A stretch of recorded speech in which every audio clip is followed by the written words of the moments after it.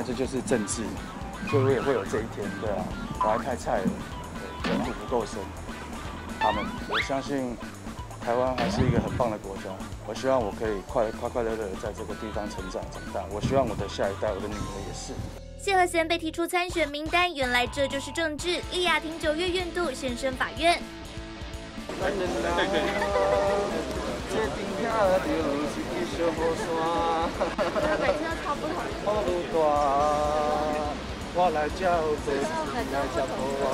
女孩，你知道吗？哎，我是说肚里的女孩啦。你爸爸谢和弦高调参选台北市万华中正区议员，阿才签合户籍，染回黑桃木，表达决心。十四号却被中央选举委员会剔除登记资格，原因呢是他曾因吸食大麻被判四个月，一颗罚金尚未执行完毕。你们不要在台湾吸毒啊！不要吸！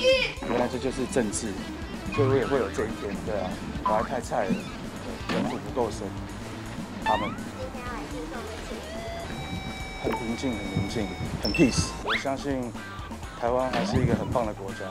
我希望我可以快快快乐乐的在这个地方成长长大。我希望我的下一代，我的女儿也是。对，希望这一次能给大家做一个示范。虽然我是一个呃负面教材。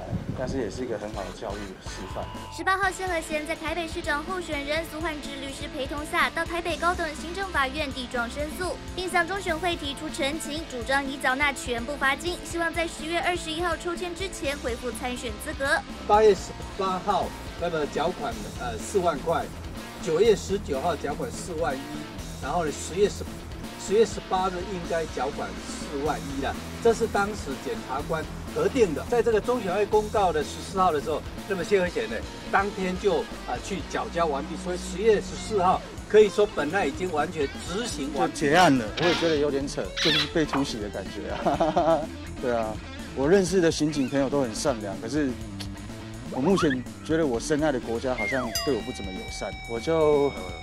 不用表达任何意见，全权交给苏律师帮我发声。对，相信他，因为他是我们年轻人的超人。我靠，不要恭维了，我真很慢，但是我做实在。谢谢。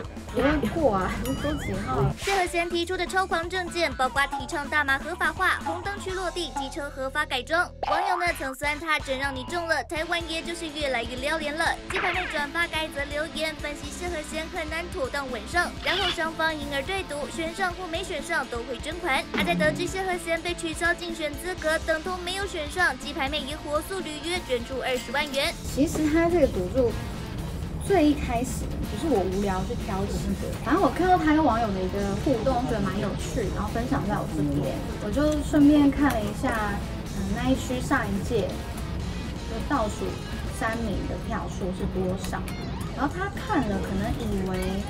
我是想要讲它的出现会影响到蓝绿的喜次，就是有这样的误会。那我也去解释了，那他好像没有要领情的样子。